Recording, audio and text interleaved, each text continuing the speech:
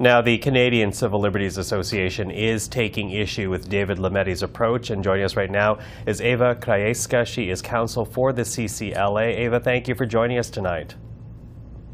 Hi, Michael. Nice to see you. Now, clearly, uh, you've said so in, in, statement, at least the, the organization has, that you are disappointed by the Attorney General's uh, decision to invoke solicitor-client privilege. How does that hamper, in your opinion, the work of this commission? So there have now been a number of ministers and uh, Jody Thomas, the National Security Advisor, who all uh, mentioned in their testimony that when they were deliberating on whether or not to invoke the Emergencies Act at Cabinet and at the IRG, they considered a legal opinion that they received from the DOJ. And uh, they've claimed solicitor client privilege over that legal opinion.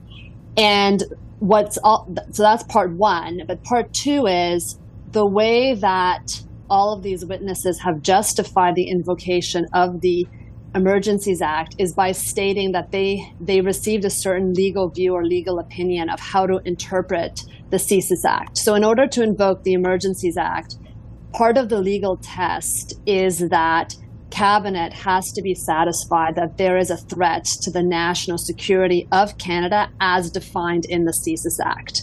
And that's become a real point of contention during these hearings because a number of uh, people have kind of spoken to that interpretation. But we don't actually know what the DOJ said to cabinet. We don't know what DOJ advised. We don't know how they interpreted that.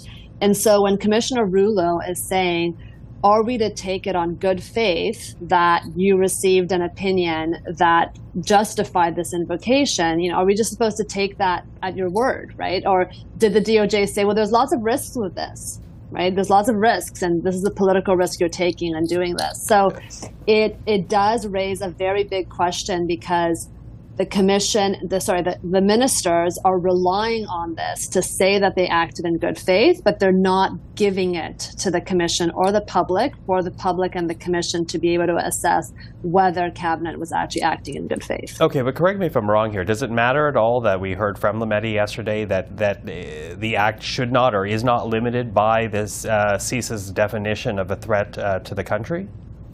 It is. It, he agrees that it is he ag- he absolutely agrees that the act says by incorporation that it's a threat to the country. He agrees with that. The issue, the dispute is he says it's not CSIS who assesses the threat, it's the governor and council. Okay, that's a, that's a legal argument. But I think the question is is it still the same threshold? Like he's saying the CSIS Act says there's a threshold before you can conduct surveillance on Canadian citizens.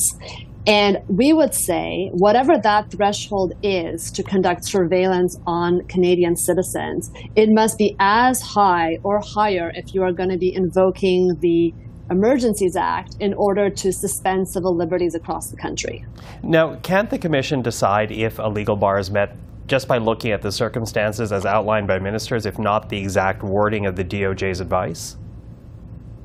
Well, that is the position that they they are being put in, which is, you know, you're going to have to just rely on the evidence that's put forward.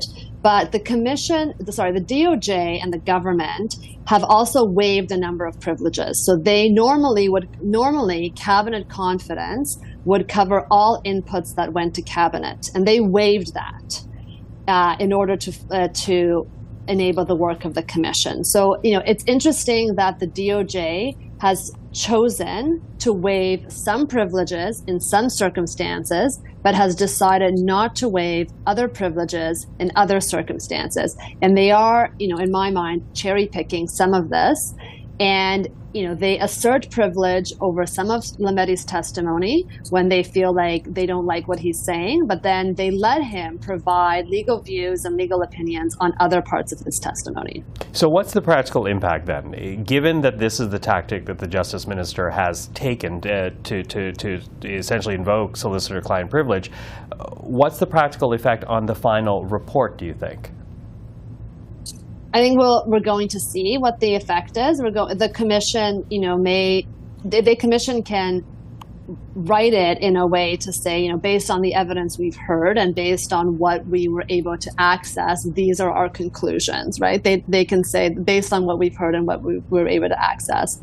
Um, so that is that is the that, that is the implication. I'm not sure, But an know, incomplete unless picture. somebody but an incomplete picture. Your It fear is. It maybe they it could they could say the commission could say you know we we you know we are disappointed or we felt like they should have waived this privilege or provided us with this legal opinion on the basis that they've been relying upon it and there is there is law to support that there is law to support that if you go out and you know rely on the legal opinion that you've potentially waived that solicitor client privilege Ava, thank you for this. Really appreciate the time tonight.